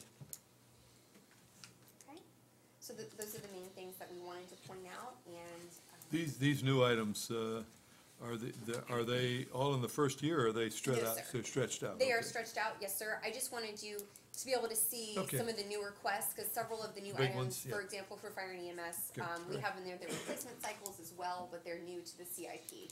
Okay.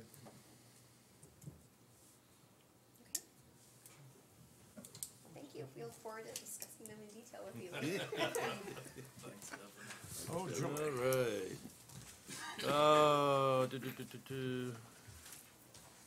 Uh, Economic Development Quarterly Report. Phil?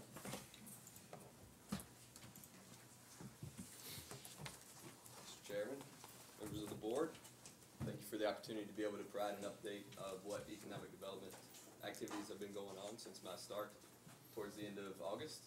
So this won't be a full quarterly report, but um, just kind of, Brian wanted me to touch on some of the activities that we've been doing. So, um, so since I began, uh, the first thing I did was get out and try to get to know the community. I met with nearly all of you to uh, get an idea of your perspective of economic development and um, how it's worked in the past, what's worked well and what hasn't.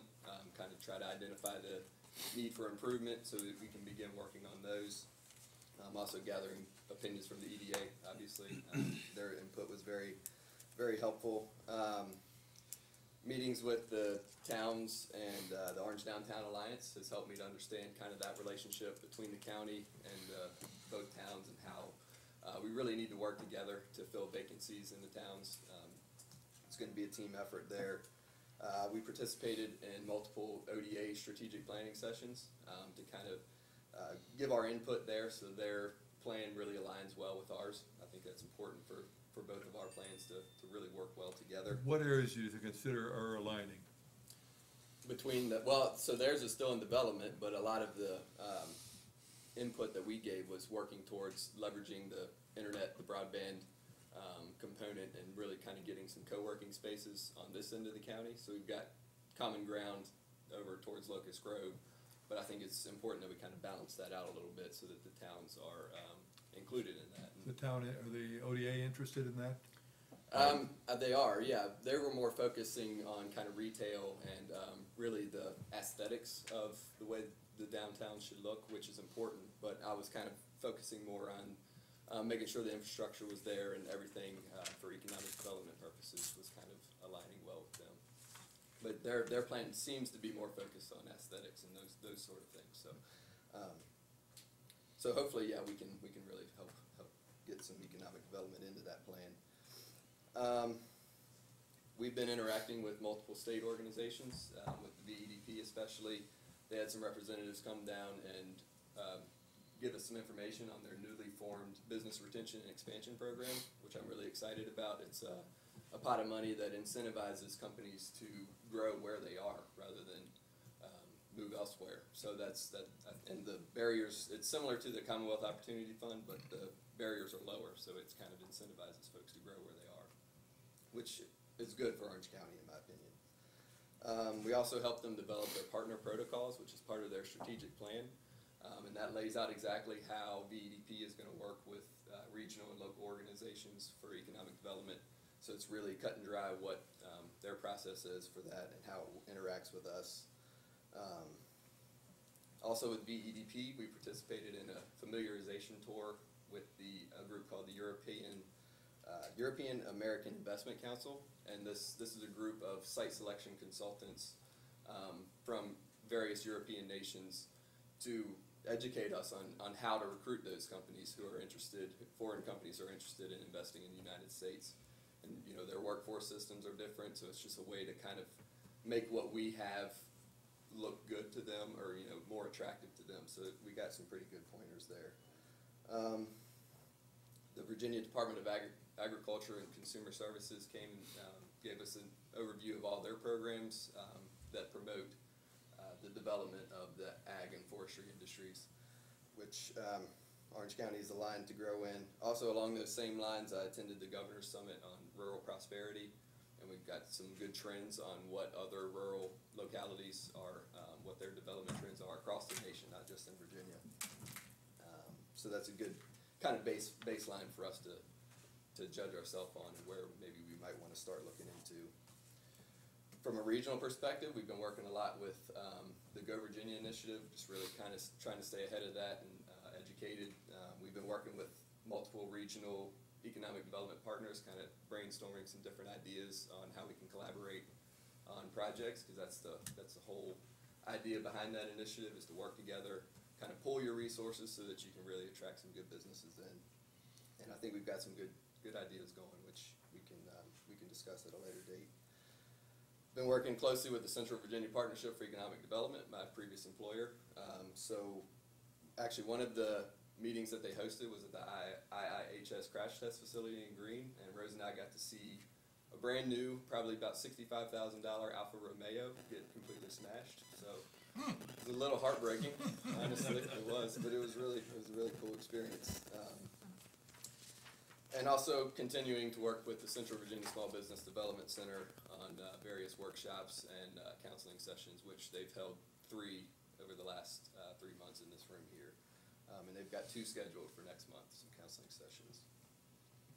Been working uh, to develop a relationship with the Orange County Public School System. Uh, Met with Dr. Tanner and um, several of their career and technical um, education program representatives. Um, I've joined their business advisory committee to try to help connect the business needs with uh, the training programs that they have out there at the high school. Kind of let those needs really help to drive what, what they're training over there. Um, and of course, I've, uh, oh, also, we're gonna be participating in Manufacturing Day at, uh, Rigid Products tomorrow. So, um, the several, I think it's four classes from the high school are gonna go to Rigid and just tour their operation. The idea behind it is to pique their interest in manufacturing as a career option. Um, so hopefully that'll, that'll, um, and I believe they've been doing that for the last couple of years. I'm not sure exactly when that started. Um, and of course, I've been working to develop a relationship with the with the businesses that are here. Um, been attending as many networking events as I can that are here in the county. Also visiting them at their place of business to ask questions and try to understand what the challenges are and see how we can possibly help them succeed. Um, we've worked several projects, including the Quad County Business Summit, um, which took place on October fourth.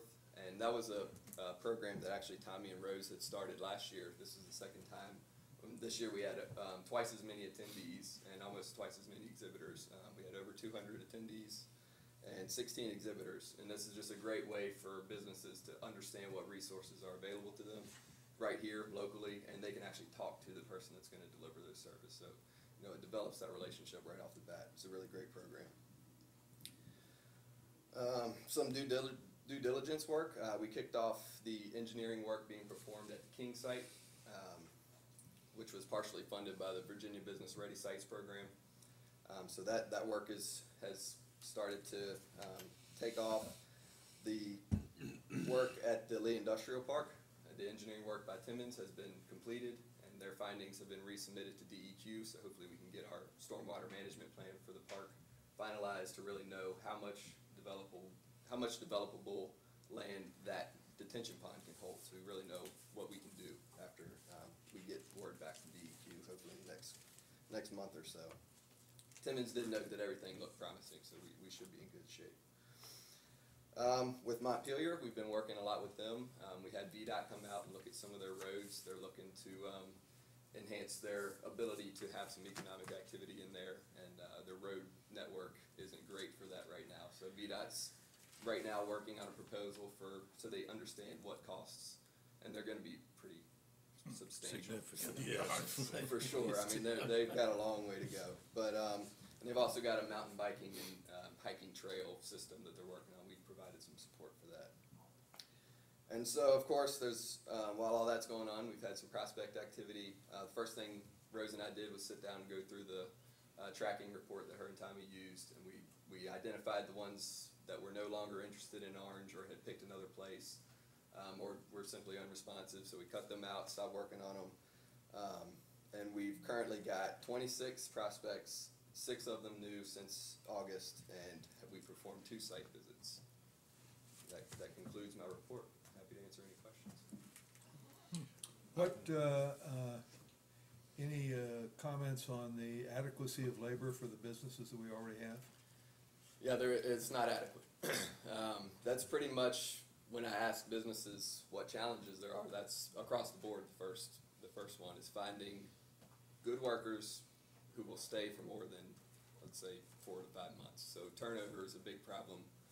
And what seems to be happening is they're just trading, trading, uh, around. So you poach from one, this guy, this business over here poaches from you, and it's just a vicious cycle. So, um, hopefully getting in, um, the high schools and things like that, and hopefully we can develop some pipelines from our high schools to the community colleges back to our employers. I think that would be a great, um, circle to, to have there. And it starts with understanding the business needs and what skill sets they, they require, so. That's a, a tough problem to tackle, but it, Are the businesses providing any uh, information or, or assistance with regard to what the training program should be at the school and G, and GCC or community colleges? They all have mentioned that um, they're involved with them in some capacity, but um, I think that communication could be strengthened. Um, the pipelines could be strengthened there, um, and that, I think that our office can have a lot to do with that. Um, if we understand what their needs are, I think we need to have a great relationship with the high schools and community colleges so that we can we can help develop that curriculum and, and give that input um, on behalf of the business community. We, we're still fighting a, a strange set of statistics. I gave a presentation a couple of weeks ago to a group, and one of the things I talked about was the labor force, and it, it's a, it's an amazing set of numbers when you think about, we have roughly ten thousand five hundred jobs in the county, but there's only, in round numbers, thirty-five hundred of those jobs are filled by people who live and work in Orange County. Thirty-five out of the ten thousand five hundred um, almost ten thousand workers leave the county every day for work.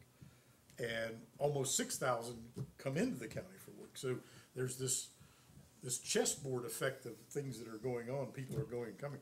I don't quite know what to make of that, but it, it, it, it contributes to the issue that we constantly hear from our employers in terms of the labor force. It, it's a, it, it's a big set of moving wheels that, uh, that, you know, when, when, there's only thirty-five hundred people that live and work in Orange County, uh, that, that's a significant challenge. It seems like, yeah, there's some opportunity to keep some folks here, and with the businesses screaming that they can't find workers, obviously the jobs are there, so yeah, there's, there's a disconnect somewhere.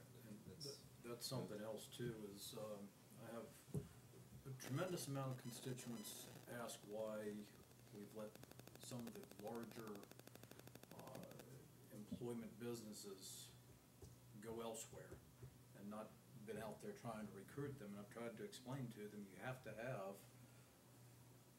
a workforce or a workforce pool that you can draw from in order for these businesses to come and be successful. We don't want to bring businesses here and have them fail because we can't provide a reasonable workforce.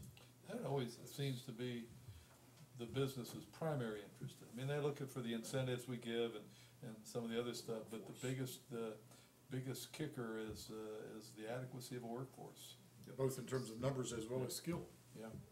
And I do know that both, uh, Dr. Tanner, the school system, and Germana have been working very hard to try to, uh, develop a pipeline for, uh, one, the existing businesses that are here primarily. There was another i- interesting statistic that I think, I think is favorable. I, I looked at the last twenty-four months, because that's how it was reported. We had almost a hundred startups in the county in the last twenty-four months. Now, you know, the, the, the odds are against the startup, obviously, that's, that's been the case forever, but, but still, that, that's a hundred, uh, situations where people were willing to take a chance and invest to whatever degree in Orange County and start a new business. I mean, that's a, that's, of, of the stats that are rattling around, that's one I think is, is pretty favorable. And, and I'm, I'm hoping that we, we have a way of, you know, encouraging that and, and assisting where we, where we can, uh, with, with that group as well. Sure. Economic gardening the term for, Yeah. for that, yeah. That's a good, that's a good term. But it, but it is an issue with the labor. I mean, I have seventeen where I am, and with the last couple acquisitions, I now have six out of the seventeen are from Orange. Yeah, But Most- nobody's ever been able to tell me, this is, this is a- an evergreen issue that comes up, nobody's ever been able to tell me if that's a s- really significant or not. Because, I mean, we're geographically, you know, California's got like thirty-five counties and five times the land area of, of, of Virginia. We've got ninety-some, so it's not, I mean, if somebody's living in Barboursville or Burr Hill, they're not really worried about a county line if they drive over a county line to get to their work. So, you know, I'm, my assumption is, obviously, it's happening the same way all around us. I mean, there's, there's a lot of people from Madison driving to Orange, or they're from Greene driving to Yeah. Orange, and vice versa, so. I mean, uh, I'm not sure how meaningful that is. Well, you've got, uh, if you look It at does seem Locust, odd, yeah. but I'm just not sure what it means. if you look at Locust Grove area, it's, it's, uh, less distance to Fredericksburg and Culpeper than it is down to Orange. You know, in terms of. uh, oh, sure, our, our geometry is, a is a factor without a question. But we do know that they're here, so that, I mean, that's at least something to look at. I mean, that's a starting point for sure. But I mean, it is something that, to look into. Well, the jobs to population number is not too bad, ten thousand five hundred jobs for a thirty-five thousand population, I mean, that's a, that passes the giggle test at least. All right, Thank you. All right, thank you. thank you, Phil. All right, uh, county attorney's report, I see report, there is Mr. Chairman. nothing. County administrator report. We start off with the appointment for the two thousand seventeen VACO annual meeting. Yes, I will. Yeah, I figured I wouldn't have much to say, but just a reminder that, um, the VACO annual business meeting is coming up at the end of the VACO conference, um, in November, and they're requesting that you all, um, designate someone to vote on, on your behalf this year. Uh, I would nominate Jim Crozier. Second. What? Has he done it before? Yes. I think so. Do we feel he's up to the task? He's up to the task. In fact, my, my first year up there representing the county, I stirred, stirred it up a little bit. I don't think they really liked me being here. Good. So, Imagine I that. know, yeah, go figure. Who- Who's going this year? I am. So, Are you going, Jim? Do we actually, do we actually need a vote on this, or? Is this- Well, I made the motion, I have a second. motion and a second, Well, any it's- further discussion? Okay, no. All in favor, say aye. Aye. You're it. Again. All right, uh, next would be the legislative priorities for two thousand eighteen. Mr. Chairman, members of the board, um, the county administrator had prepared this as an update um, concerning the board's um, legislative priorities for two thousand eighteen. The board had been given um, the two thousand seventeen legislative priorities just for a review, and also had heard from Mr. Eldon James, who is the um, legislative liaison for the Rappahannock Rapidan Regional um, Commission. And since then, the uh, VACO, Virginia Association of Counties, has distributed its preliminary legislative program. Um, the attachments were not in your agenda package, but I think you've all received them tonight. The uh, VACO's preliminary program, as well as copy of the uh, regional um, priorities that uh, Mr. James went over. Brian is planning on um, continuing to review these. The, um, the VACO conference will be November eleventh through the thirteenth.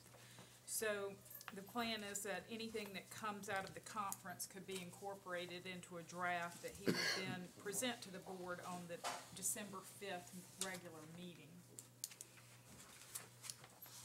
And all of that is just provided for the board's information. No action is necessary at this time. I think that we could almost scale this into a small sentence. If you mandate it, pay for it. Pretty much it. That'd solve a lot of problems if they followed that. Yeah. Absolutely.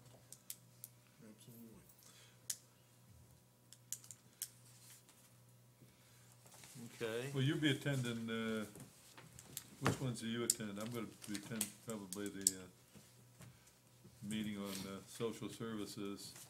You attend the one on, who attends the one on transportation? You do. I'm You, you're on, one of them, I'm also on government, uh, operations, as long as they don't have their meetings simultaneously. I haven't, I haven't looked at it yet. Okay, all right. Whichever one we, we all need to go, we'll just work around it. No, You're, you're going to, Teal? Yeah. Oh, I didn't see your hand earlier, okay. All right, uh, then consolidated public safety facility update.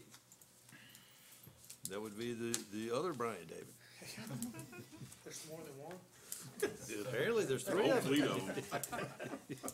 And they're all here but one. Uh, That's right, the main one's not here. Um, first of all, the, uh, we have not closed on the property, I'm sure you guys all know that. Um, For various reasons, Ms. Taylor was unable to, um, attend the closing last week. I believe that our, our new estimate is sometime next week, hopefully we'll close o- on the, on the property. As far as the facility goes, um, we're working on the schematic design. I can tell you that we're far enough into it that we, been able to determine that the utilities are gonna work as far as the, the gravity flow on the sewer.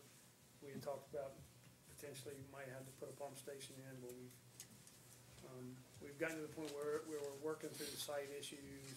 Everything looks pretty, pretty good there. Um, still got a ways to go in the building, but we'll be ready for the, for the, uh, work session on the fourteenth of November, uh, with you folks. Um, Lastly, I'll say that, I, I mentioned earlier in the meeting, we've, um, talked about the schedule, but to be quite honest, eh, until we get through the fourteenth, um, I don't know how accurate that's gonna be, so, um, Are we we'll done, have, on the fourteenth, do we have a start time for that? Are we starting four early? and- o'clock. Four o'clock And we have to be, with the airport to do it. and when do we have to be at Lake of the Woods?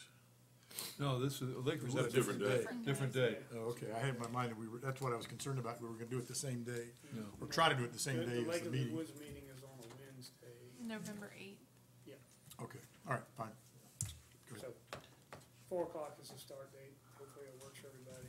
Um, and then once, once we get through that, see what kind of comments and, and issues we have from that meeting, then I think we'll have a better chance of developing a more active schedule. That's all I have. Thank you, sir. And then lastly would be the request for a speed study on Route six eleven. Um, Mr. Chairman, members of the board, in front of you, um, you'll find an email from a concerned citizen, um, that was sent to, um, Chairman Goodwin, um, citizen of his district, and they expressed, um, concerns with the speed of travelers and safety on Route six eleven, specifically the Raccoon Ford Road portion. Um, there's a part of that road that is Zoar Road, I believe, and then It turns into Zoar part Road. of it is um, Raccoon Ford Road. If you read the email from the constituent, it provides a, a greater detail. Um, I think the Zoar Road um, not only has painted center lines, but it has some speed limit um, signage and more safety um, signage posted on that road. So they are requesting your consideration that VDOT conduct a speed and safety study on the Raccoon Ford Road portion. Um, understanding that their request is for a reduced speed limit and increased safety signage. Um, it will, they have requested thirty miles an hour. Um, right now it is an unposted road, which, um, is a fifty-five mile an hour statutory speed limit, so they are requesting, um, thirty miles an hour and then possibly some signage for some sharp turns or areas with poor disability and even possibly painted center lines to help, um, control some of the speed as well. So if you would like, um, there's a motion at the bottom that you can adopt, uh, whereby I would put together a resolution and a letter and we would send it to the Louisa resident administrator for them to conduct. Um, I know the speed studies are running a little bit behind at this time, um, cause he, I think he's just getting recommendations, um, that he will be providing to us for the Route fifteen speed study that you all took action on a month or so ago, probably two months ago, so. Um, we can get it together and, and send it to the resident administrator if that's what you would like. I've been down that road in an ambulance. It, it can use a reduced speed. Yeah, that, that section of it is narrower than Zoar Road and Yeah, Zoar was improved, widened, and a lot of improvements made to it a number of years ago, and as soon as it, uh, goes into your district, sir, it, uh, deteriorates deteriorates rather quickly. Well, it's kinda like six seventeen, as you feed out on the twenty is all nice from the greenhouse up, but you leave the greenhouse and go back to where I used to live and, yeah. Exactly. I'll Yes, make the it is, motion. and I'll, I'll even second it on that one, so.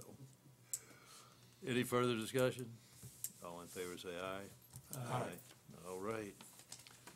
Uh, six o'clock, any board comment?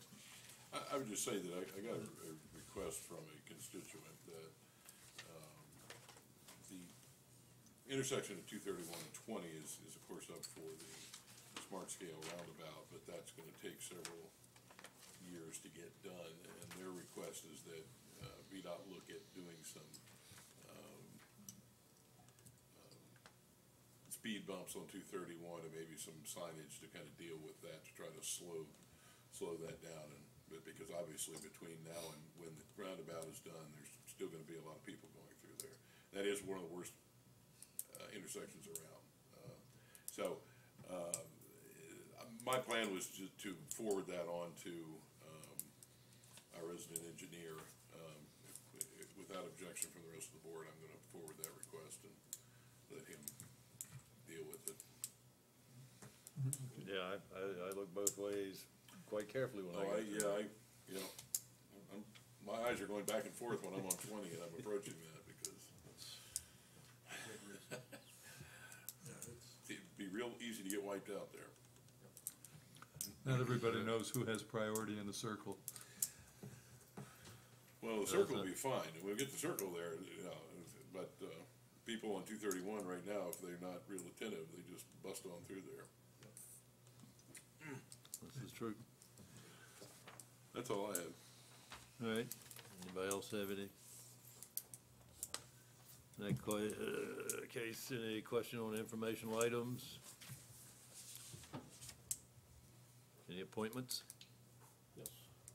Um, actually, uh, Crystal Hale, uh, resigned from the planning commission due to her new employment, and I would like to, uh, nominate Jennifer Boyer of Rhoadesville. She is the co-owner of, uh, Deep Roots, Oh, okay.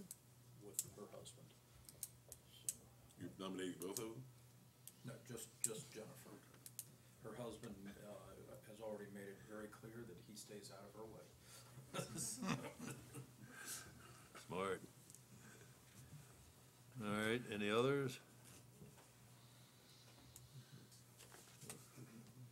All in favor, say aye. Aye. Aye. Okay. Uh, Do the one last thing, we'll be done then, pretty much, uh, schedule the annual meeting at Dogwood Village on Tuesday, December nineteenth. Is that good with everybody? Okay. I assume that's the regular board meeting in December. Yes, sir. All right, Now, are we, I forget, are we doing one the first Tuesday and the third? Is that how we're doing it in December? Yes, sir, in December, it's the first, I'm sorry, The fifth, right? yes, the December fifth and the nineteenth, which is Okay. the first and So- third Tuesday. So are we doing the whole meeting there, or are we just doing the, uh, uh, going, doing the meeting at five and then mo- going there for dinner? Yes, sir, you'll, you'll have your meeting here starting at five. Okay, I don't know at this time if there will be a four o'clock work session, but your regular meeting will start at five. And we'll, um, leave for around six o'clock for dinner over there and you'll conclude for the evening there. okay. All right. Everybody fine with that?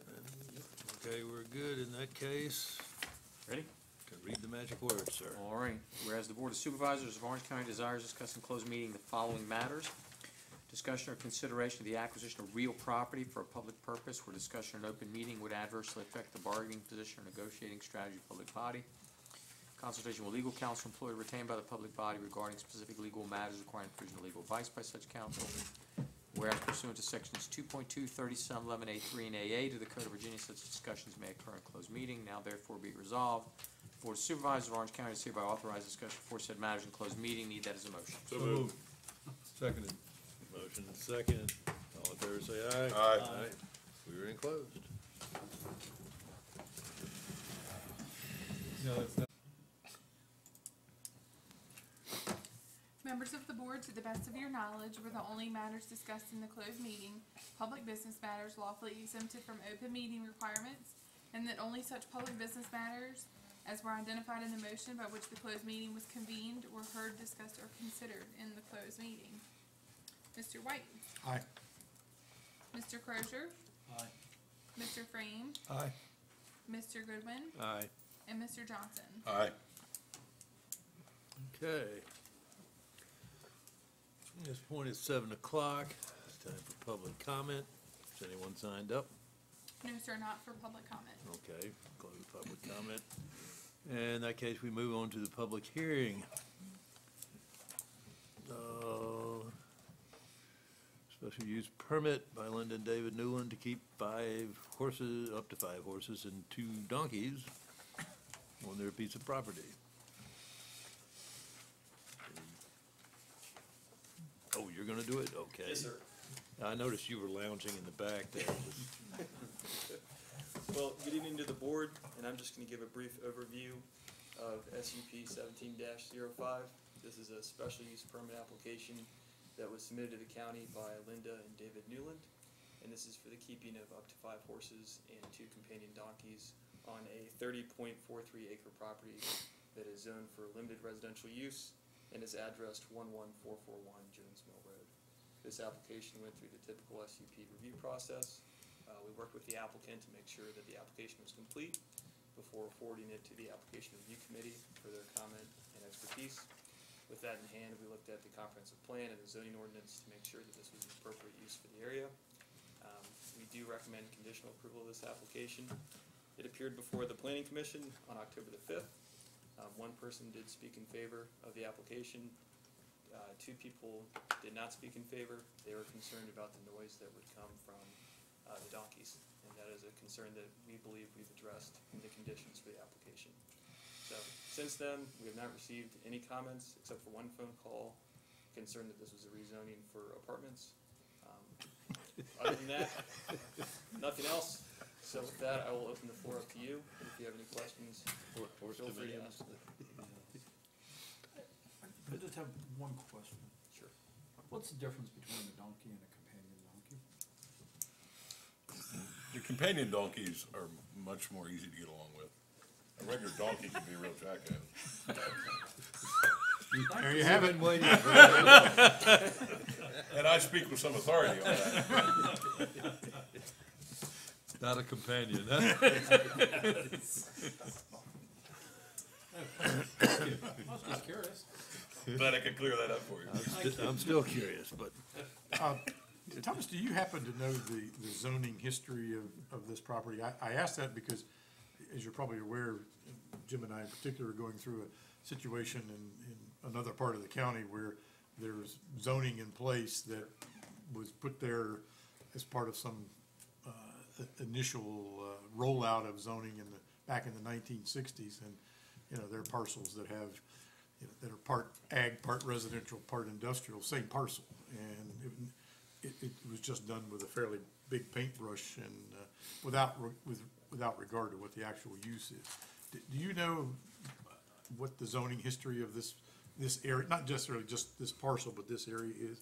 Is this somewhat the same thing, or was this intentionally rezoned at some point to, to the residential? You ha- have any clue? I believe it's been zoned for R one since as far as our land books go back in the planning and zoning department. Why it was zoned R one, I'm not sure. That's just what it's been. Do you know, Mark, do you Jim- have any sense of? Well, I, I know to an extent, yes, and you'll notice that the land around it is, is also zoned, you know, the other parcels.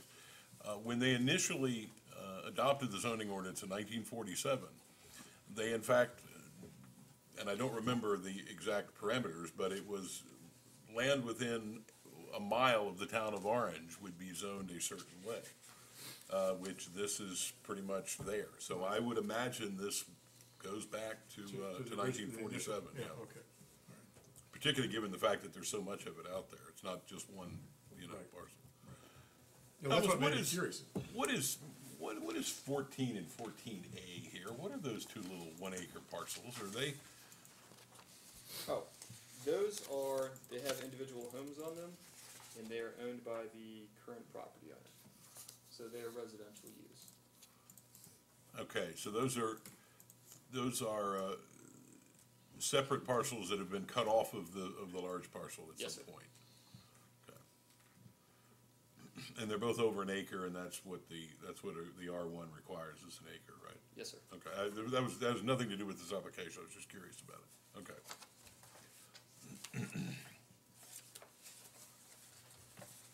Any further questions?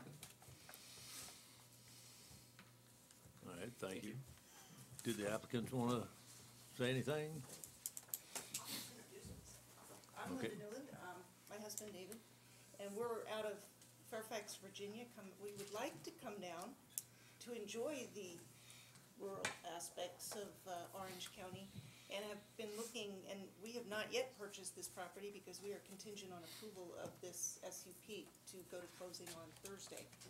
Um, We've been looking for a place like this just to, and we really want to maintain the character of the property almost exactly as it is, except just give it a little bit of investment, bring it up to, uh, you know, give it a little love. It's a little tired, and it, uh, we'd really like to make it a very pretty property.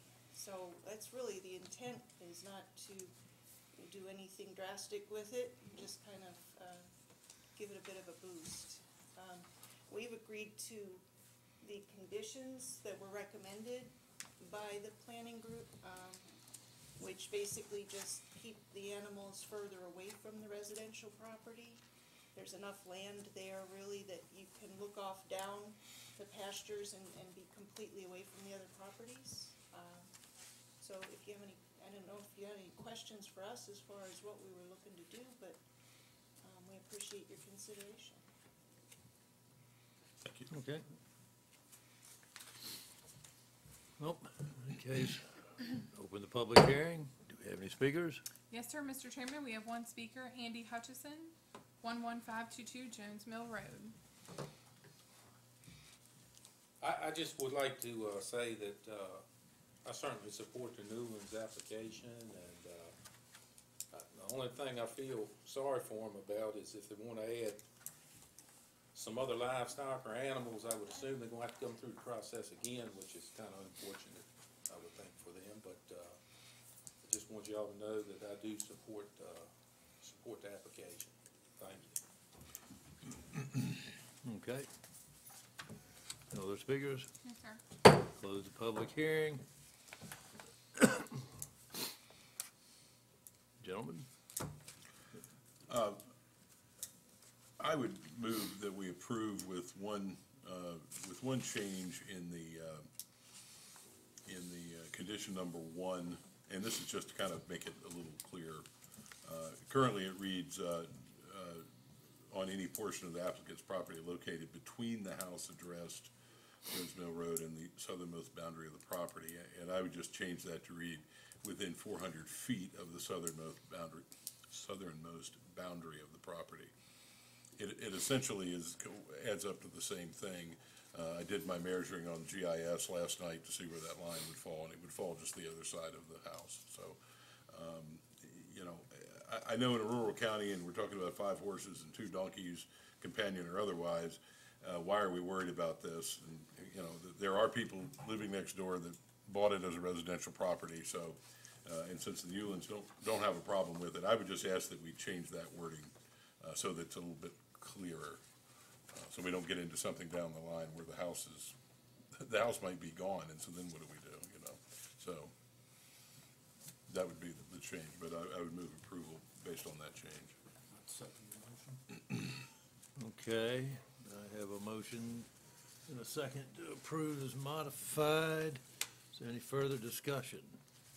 I I do have one question. uh, Yeah. un- Under the, uh, it's page two of two, and it's, the let me see what it, I guess it's the planning commission uh, uh, approval document, item three, says uses, and it has a, has a sentence in there after identifying the five, up to five horses and two companion donkeys. And then it says these words, "Other similar animals may be permitted as determined by the zoning administrator to be consistent with the intent of this SUP." Okay, anybody wanna tell me what, What that means? what that means? Or what we have in mind, or where Non-companion that's gonna go, or, Uh, What did the planning commission, I think the intention of that is that in case they wanted to switch out, um, an animal with something that would be equally non-problematic, A cow instead of a donkey? perhaps, um, that would give us the ability to do that without requiring them to go through the SUP process again. well, but that's a good question. Would, would, would a, replacing one horse With one or cow. one donkey with one cow, it, would that, would that meet the intent of it? I'm not, I, yeah, I know, I, I, I, I, I went here wi- at my own risk, I get it. But, Perhaps we should adopt a, uh, Can I make a a comment? calculator, three goats equals one horse, ten chickens equals one donkey. Well, can I, can I make a Okay. suggestion that's- that does clear it a little bit? Other, other animals may be substituted, and take out the word similar and permitted, and then we just say other animals may be substituted, unless we're worried that they're gonna bring an elephant or something, I mean. well, If they bring an elephant, they'll, they'll have their own set of problems feeding that thing, the, the, so. Not to mention all the guests going, look, there's an Unless, elephant. unless it's a companion elephant. I mean, in, in, in, in the world of veterinarians, they, they, they have a group of animals they call pets, which are typically dogs and cats and these Well, the state defines livestock. Other livestock animals can, we could use the word livestock, which has a state definition. Well, but then the vets also have what they call companion animals, which includes a horse, and presumably a donkey too, but a, an equine species. And, and I'm just trying to, I, I, I don't wanna have you backed into a corner or, or go away with an interpretation that,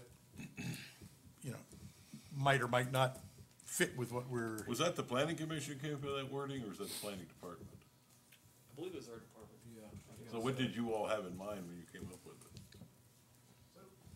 To be honest, the intent was in case they wanted, uh, four horses and a pony, I don't want to have to go and say, well, this says you get four horses and that's it. Well, pony, pony is really not a separate, uh, pony is just a small horse. There is no legal definition between a pony and a horse.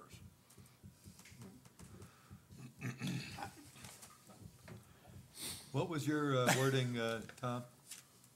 Well, and actually, I was just looking up the state definition of livestock, uh, but, I would just say, use the word substitute, that you can, that, that this, other, and I would say livestock animals may be substituted. And you don't even need the determined by the zoning administrator as being consistent then, because, I mean, the state, uh, uh, uh, the state definition of livestock, I think we're all, com- we would be okay with. can you read what it says? What, I mean, I, I'm just curious. Livestock includes all domestic or domestic, domestic or domesticated bovine animals, equine animals, ovine animals, porcine animals, which I guess pigs, right? Pigs. Yeah, see, So that's the maybe problem not. with livestock. Maybe Yeah. Not. Livestock probably is not the best Yeah, I word for think that. that's probably, that's probably too broad. Well, I, I, I think the, I, I don't, I mean, I understand. shellfish, too. I, I understand what you're saying, Jim, but I don't, Well, I don't have a fix either. I don't just- think there's, I don't see a problem here, I really don't. Just make sure that if. we It says decide- similar animals, so, um, to me, that's, that's talking about So we- goats, goats or llamas or alpacas or something like Don't fit that. there. Uh, I don't, I don't think a pig fits there. Okay. So we're going with Maybe we other need to similar say, you know- animals may be substituted? Other similar animals may be permitted. I, I would, you know, I don't, I If you- suggest the word substituted, because the word permitted could be theoretically, say, on top maybe of the five. substituted, yeah, that's fine. Other similar animals may be substituted, Uh, yeah, I- yeah, I agree with that. Okay. I misunderstood your ear- earlier comment. And, and so we're going, just other similar animals may be substituted, period, or still As- as determined by the zoning administrator? To be consistent with the intent of the SUP. I think leave that in there. I don't have a problem with leaving that in there. Yeah, Okay. If somebody complains, then the zoning administrator can go look at it and say, no, you know, we weren't. Hogs, hogs don't fall in that category. Do you need to amend your? I, I, I amend my motion, uh, to substitute the word substitute in for permitted. Second. Feel permitted. right, I have a motion and a second. That handle everybody's. In that case, do a roll call. Mr. Frame, Aye. Mr. Johnson, Aye. Mr. Crozier, Aye. Mr. Goodwin, Aye. and Mr. White. Aye. Let there be donkeys and horses, similar like animals, uh, tyrannosaurs or other modified, uh, species. Do you need a motion? I would give you a motion to adjourn. I was asking that question. You stole it.